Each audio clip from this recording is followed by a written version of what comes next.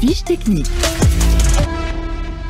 مهما يكون تليفونك طيارة إذا عندك مشاكل في الشحن راني حاسس بيك. ونعرف اللي أنت متقلق. ضاعلك الكابل الأصلي وتشارجي بكابل مذرح ال chargeur تحرق وما لقيتش من تشري خوه في ال original. حاير في power bank وحاجة تطول. على خاطر اللي تشريها في ستة اشهر ما عادش تشارجي.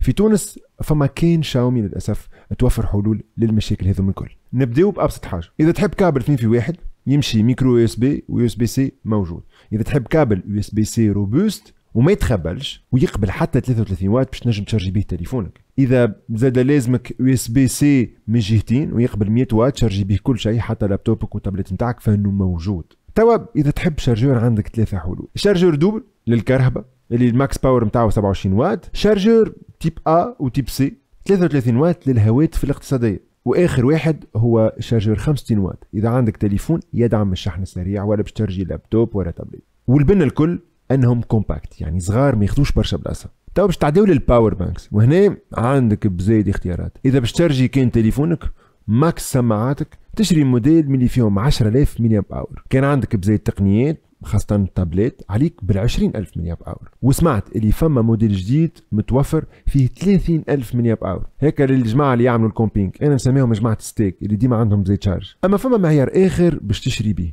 وهو سرعة الشحن. إذا عندك تليفون اقتصادي جدا ولا آيفون تستحق من 18 ل 22.5 واط. تاخذ حاجة هكا compact كيما ال Mi power bank 3 ultra compact عندك شحن لاسلكي عليك بهذا اللي هو 10 واط wireless power bank. تحب حاجة robuste و durable؟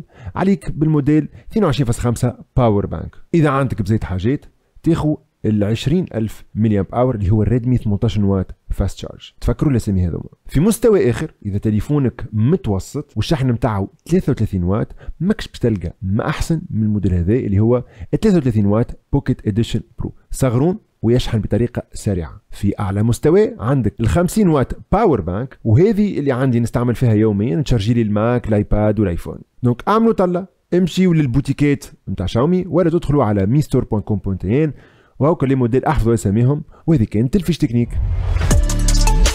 Fiche technique.